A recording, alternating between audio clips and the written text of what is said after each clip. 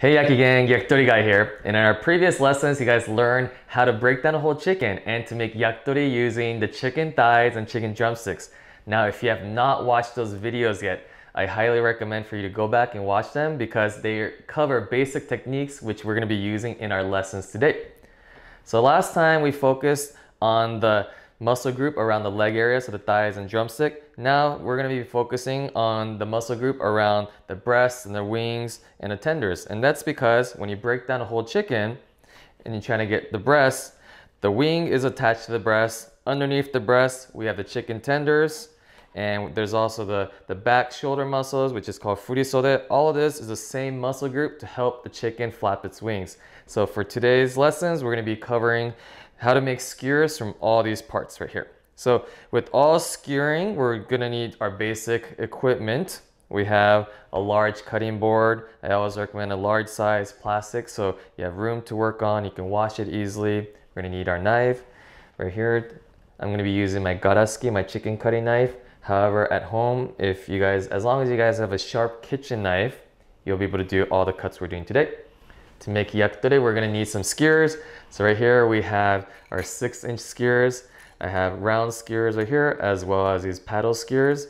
Either of these will work for today's lesson. I just recommend if you can purchase skewers, get these six inch ones. That way your size will stay consistent with what I'm showing you guys today. I have a new ingredient today. This is kombu, so this Japanese kelp. It's the essence of Japanese cooking. It's the umami that's in a lot of Japanese cooking. So I have kombu in water. So this is uh, kombu dashi. And in here, I'll be putting in some chicken tenders, marinating the chicken tenders overnight. I also have a towel in hand. It's always just nice to keep your hands dry as you're working around chicken. And lastly, I always have this stock pot next to me. That way, any of the bones, the cartilage, tendons, Instead of throwing them away, I put them to the stock pot. With yakitori, nothing goes waste. So they're either gonna become meatball skewers at the end or they become soup at the end. So we have all we need to start skewering. So let's get to skewering. Okay, so let's go over what we have here. Basically, we have the chicken wing that's attached to the breast. It's just all part of the same muscle group. Now right here, there's also the furisode. So in our chicken breakdown video, I had you guys basically cut this chicken breast right here straight and on the later part of the video we slid across the shoulder blade and was able to get this off. But there is another method where when you're carving this chicken breast if you go around it you can get this out. But it's definitely a little bit trickier so I left that out of that previous video. But in this case I attached it together so you guys can see essentially how this is the breast right here and it's connected. The shoulders are here and this cavity is normally where the chicken tender is located. So this is all part of the same muscle group. Basically the pec muscle, I guess this is the, the pec minor and this would be the pec major. But all of this is interconnected muscle group to help the chicken flap its wing. Wanted to just show you guys a few other things that I've noticed over time. For example, you're gonna see this string right here coming out of the chicken breast. And this actually attaches, it's part of the chest muscle and it helps like, it helps with the flapping part of the, the moving. I freaked out the first time I, I saw this. I thought it was a worm, but if you ever see this string, definitely not a worm. If you look at all the chicken breasts, it's gonna have the string, so don't freak out. But all right, so if we're ready, we're gonna start cutting this. So as we break down the whole chicken, we're using this the wing to essentially pull it apart from the chicken body. Now once it's off, we can cut this right off. So how we're gonna cut it, basically we wanna separate the breast from the wing. And this is that furisode. So let's just cut right through. So we got the wing off. This is the furisode right here. The reason why it's called furisode it's actually uh, Japanese kimonos. They have essentially this sort of wingy, flappy area underneath the arm of the kimono, and this sort of represents that. So this is the, the shoulder area here. So it's its own loin. We have the breast. So for the purpose of separating we're gonna cut this off as well. So this is the furisode. Okay, so let's go ahead and start with, put this breast away. Uh, here's another, I have another chicken wing and breast. So just right here, we're gonna be cutting this right through right here. So we got the furisode, oops. Furisode and the wings and the breasts. So for this first part of the lesson, let's focus on the chicken tenders. So right here I have the chicken tenders right here. Pulled these from two different chickens. And one thing that I wanted to show you guys, remind you guys, uh, when we took out the chicken tenders, we used this hard tendon to essentially pull it apart from the body of the chicken. So this is really hard to chew and we're gonna have to remove this because the key point in yakitori is we wanna make sure that when the guest is having that first bite, it's gonna be nice and tender, nice and soft. We don't want them to bite into this chicken tender, which is supposed to be soft, but then their teeth get stuck in this hard, sort of plasticky string right here. So we're gonna have to remove this. And so the main method to removing this, and I've already removed it from this end, so we're gonna try to get that with this. So this tendon actually goes all the way down. And in order for us to remove it, we're gonna use the tip of the knife and just carve right along the white line. And you can sort of see it and feel it as you go down. But you wanna be careful you don't cut through the top. So I, I just cut, I sliced across one way and then uh, with the other side, so I sliced this side already. Now I wanna slice this side of this white line. So use a tip of the knife and just get as close to that white line as possible and slice all the way down. So we didn't cut all the way through yet. We just added this slice. And then, so right here, my hands are a little bit wet. So let me dry it out. So I'm gonna grab this white part and put my knife in here. Essentially, we're gonna be carving it and pulling the string at the same time. So this is why having dry hand is important because this might slip. So right here, we remove this, the chicken, the hard part. Basically feels, feels very plasticky, so we remove that. So there we, we're done with that one. Same thing with this one. So you see where that white line is? I'm gonna cut through just straight down that white line on one end and cut through the other on the other end, down. My hands are oily again, so wiping it and then put that knife down here, tip. And then should be able to pull it. So we're essentially sliding the knife across and then pulling it. So underneath it's kind of looking like this. So we're pulling this and sliding the knife across at the same time. Now, if that's a little bit tricky, you can also, the other method is essentially just slicing through, cutting the same cut we did, but then you just kind of flipped over with the white side up, you just start trimming it off. And it won't be as clean as sliding it across, but at least that's one other way, maybe an easier way to remove these, the hard tendons. So this, we're gonna discard into the soup pile. Okay. Now for the chicken tenders, so I have four tenders here. Actually, I'm gonna end up putting these two tenders in my kombu dashi water so it can marinate overnight. The kombu is just gonna bring out the umami in the chicken tenders. So this is something that I picked up at a Yakitori Moe West in Tokyo where I was working at. I was able to sort of see what the master Daisuke-san was doing there. And he, he changes things up all the time, but one of the things he was doing to the chicken tenders was marinating dashi. So I normally don't do that for a lot of my dishes. I cut it and serve it that day straight up. But in this case, I had some extra tenders, so gonna be marinated. So if you guys are cutting a lot of tenders and have some extra tenders and might be doing yakitori two days in a row, definitely try putting into the dashi and, and see, you know, do a comparison between the one with dashi, with the kombu dashi marinade versus just straight up. So right here, so we have the chicken tenders. I'm gonna be cutting them. I'm gonna be cutting them into fourths, about the top one about an inch, second one about an inch, and then as we go more towards the bottom, the tail end of the tenders, I'm gonna go a little bit shorter than an inch. And that way, I'll show you in a bit, but what we're gonna get is sort of bigger on the top, and then the skewer is gonna get uh, narrower as we go to the bottom. So for this one, I'm using these round skewers. So I have this end. I'm gonna go at this. Actually, I'm gonna show you something easier. If we remove this tail, might be easier for you guys.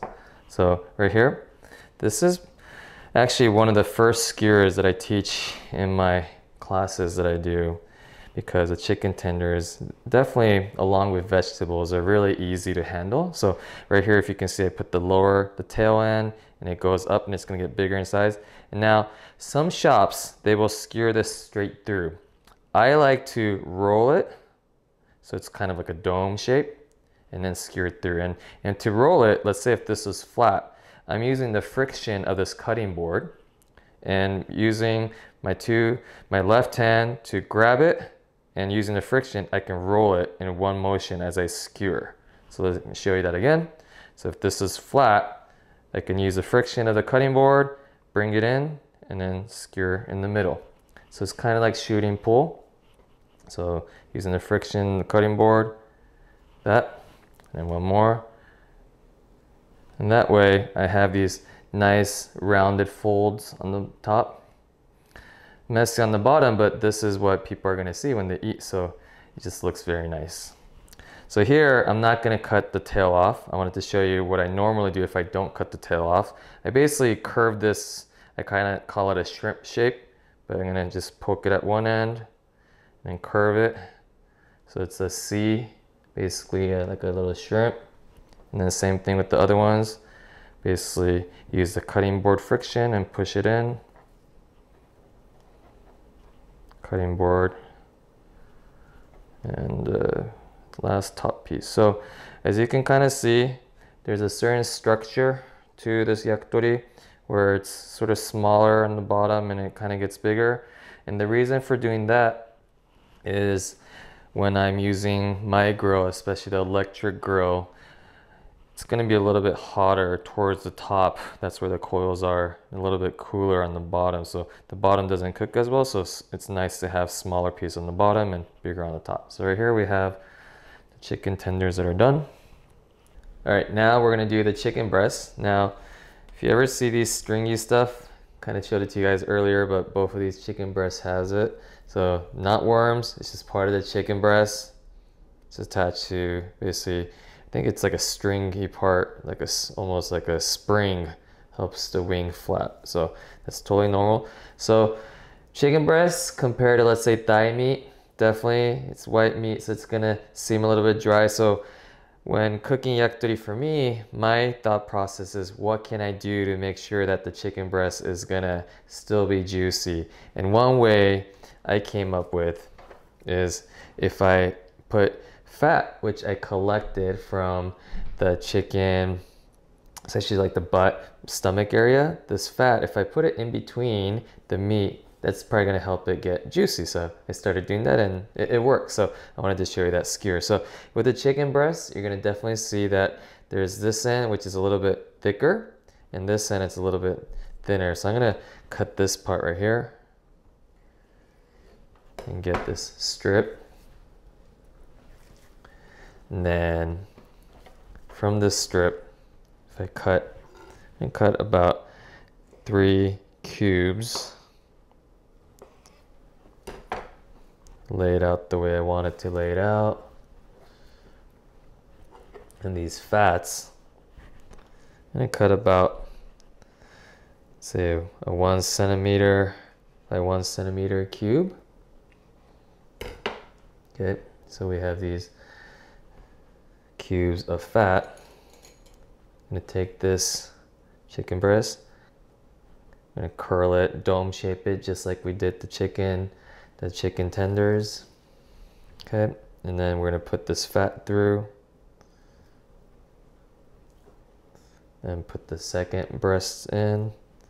Grab a piece of this fat, skewer it through, and skewer the top. So what we have here is essentially chicken breast, fat, chicken breast, fat chicken breast. It's gonna be very juicy as it cooks. So with this thicker part, we can still get that same cut. However, you might have to trim it a bit. So we're gonna do that right here, just to flatten it a little bit. And then I'll be able to cut it into threes. This in a soup stock. Lay it out again. Use this fat. Cut a small sliver. Okay. Poke through the breasts. Poke through fat. Poke through breasts poke through some fat and at the top of the breasts. So we have something like this. So we have the chicken tenders and the breast with the fat. Now, it's always about how do we make the chicken, the breast, which can be dry, how do we make it still taste good? So one way that I've also learned, this is uh, Chef Kono in New York, he taught me about rolling these chicken making them very thin, slicing them thin and rolling it. So we're gonna try that method. The top of the, the chicken breast are here where the wings connected. It's gonna be definitely a little bit harder so we can slice that off. And for the rest of this part though, we thinly carving it. This is probably better with more of a sashimi style knife or just even your kitchen knife. A long knife would be good, but I'm just gonna use this knife for now. I don't wanna wash extra knives if I don't have to. Okay, so let's got some slivers right here.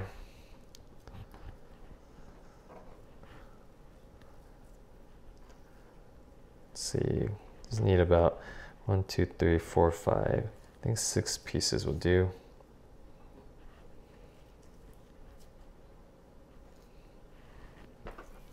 Okay, so we'll put this away. Now, we're gonna grab our skewer. And ideally you wanna flatten these out a little bit, make them nice and long. Then we're gonna use the skewer to roll it underneath, roll it over roll it underneath, roll it over. Roll it underneath and roll it over. And we have something like this.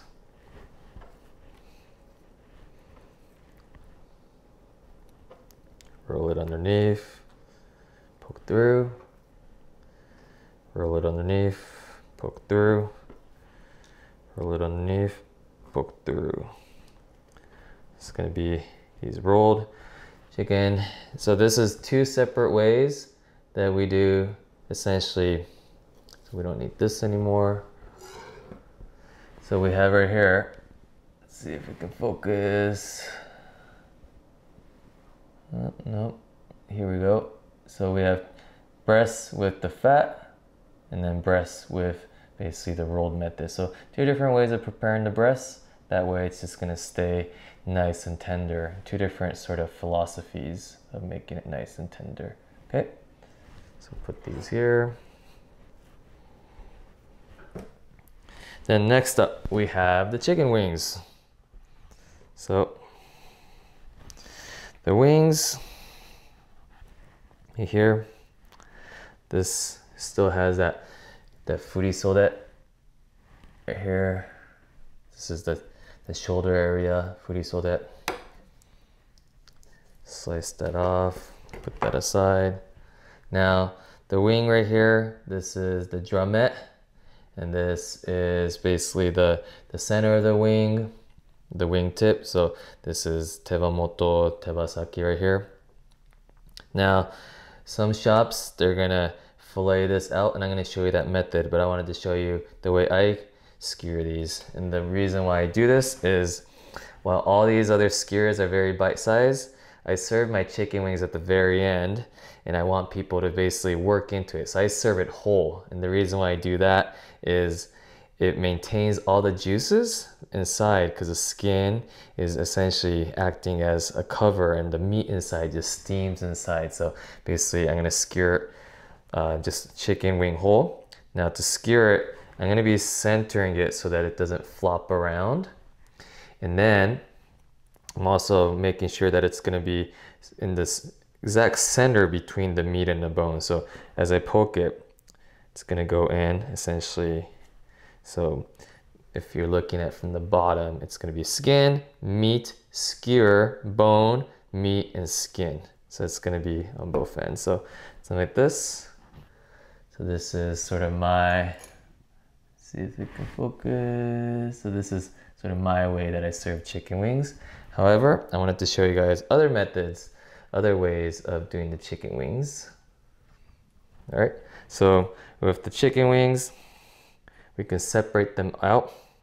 And the reason why a lot of shops will do this, it's gonna cook quicker. The other whole method, it takes a while for all of this to cook through. But if you fillet this out, debone it, essentially it's gonna cook. So the way we wanna debone this, essentially we're looking at where the, the joint is right here. So the drumette, the wing. If you, if you cut it right through, you're gonna see exactly where kind of, and you might be able to snap it, but it's basically right here. So you can use the, the knife and just cut right through. And then same thing right here. There's where the joint ends. You should be able to just cut it right through. So this is, we have the wing tip and the, the drumette right here. So let's go ahead and do that to these ones as well.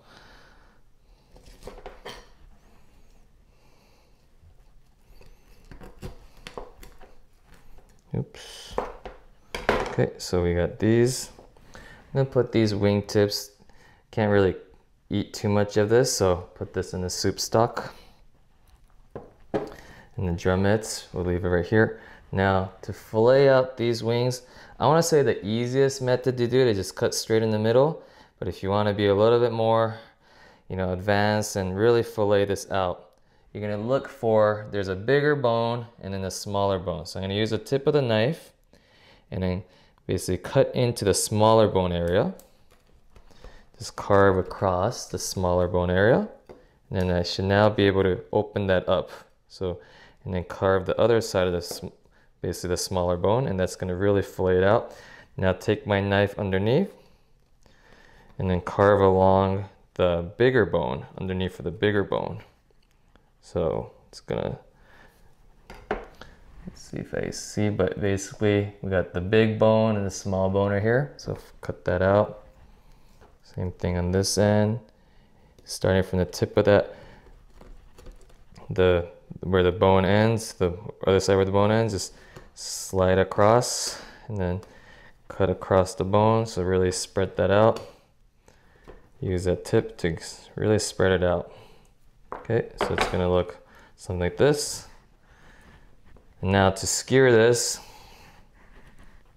you're gonna take your skewer, go through the meat, and then go essentially underneath the bone. with The skewer, so basically skin, meat, skewer underneath the bone. Gonna come out the other end, make sure it's centered, and do it the same on the other end skewer through underneath the bone, skewer through the meat underneath the bone.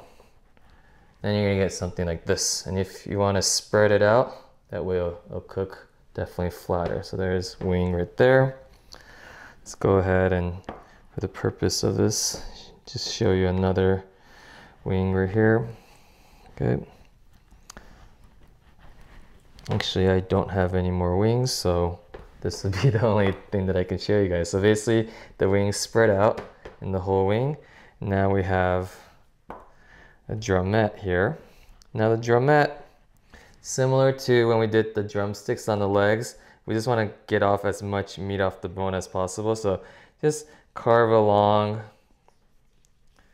the bone of the of this drumette. Get that meat off. Okay, use that tip of the knife, get in there. Just carve it right off. The bone we can throw into the soup. So we have some meat from the drumette here. Same thing here. It's gonna carve it across. It's always good if you flatten it on the cutting board, then you won't be able to you'll be able to get more of that meat off.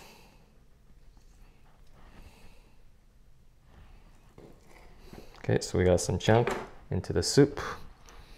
So if you guys recall, we have the furisode, the shoulder meat. So you can attach it onto the breast or you can also cut it right off like I showed you guys in the chicken cutting video. So if we have these extra shoulder meats right here, then we can definitely combine it with the, the drumette pieces. So let's maybe do a combination of, we'll put drumette and then shoulder. This is with the skin on. The skin may not be on when uh, you have it, but yeah, we have some drumette, shoulder, drumette, and then shoulder. Just gonna sort of roll it around. So here we go. So this is a combination of drumette and shoulders. So we have a few extra meats here. We have some drumette piece, some shoulder. Might have another shoulder in here which I do, so it's a little bit bigger.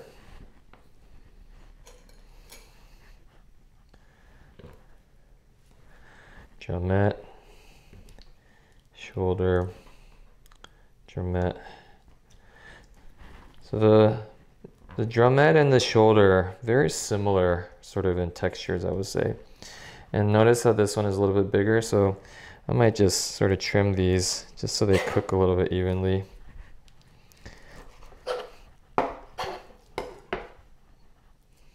yeah, making sure that they're about the same width is that was nice. And these extra parts definitely will be good in squid. All right guys, so we just finished skewering and I think this is a good example of there's just so many different ways to approach even the same cut of chicken meat. So for the tenders, they're nice and tenders. It's really great to cook right away. However, if you marinate it comes even softer and even deeper flavors. The chicken breast, a little bit dry, but how do we make it so the chicken breast is still gonna be enjoyable? So for my way, I'm putting the chicken fats in between. And Chef Kono, he does a roll-up way. So even the same chicken breast can be approached two different ways. For the chicken wings, we have my way where I like to serve it whole. That way the meat the it gets nice and steamed inside a crispy uh, the skin. And you have to essentially work at it just like how you eat buffalo wings hot wings you have to get into and work at it. Whereas some of the shops they're gonna debone it for you. It cooks faster it becomes crispier gets smokier and you know you can just bite it right off the skewer. So there's different sort of approaches as well as what do you do if when there's not enough pieces? So like the drumette there's not enough meat there's not enough shoulder meat, you can always combine and make your own skewer. So as same with the thigh and the drumsticks from last week, I think this is a really good example of with yakitori. The cuisine yakitori is it's basically a, a blank canvas. You take this chicken and you can make however way you think is gonna taste better, it's gonna have a better texture or a better experience for your guests, and it's a way for you to express yourself. So this is just a few examples of what you're able to do if let's say the breasts or the wings or the tenders or the drumettes, but hopefully you guys can take this lesson, make these skewers or make your own, and I would love to see how you guys develop and grow with your own yakitori. So once again, Thanks for watching so far. Make sure to subscribe to this channel so you'll be able to see all the following lessons that are I still have planned for you guys. We still have more uh, skin, we have some innards, and we have other special skewers that I would definitely love to show you guys as well as going over some of the equipment that we've been using.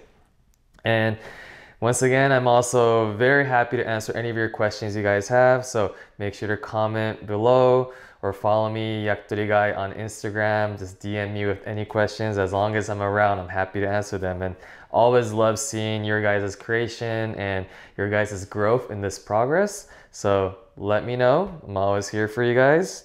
And hopefully, yeah, you guys had fun with today's lesson. So I'll catch you guys next week. Thanks again for watching. All right, bye guys.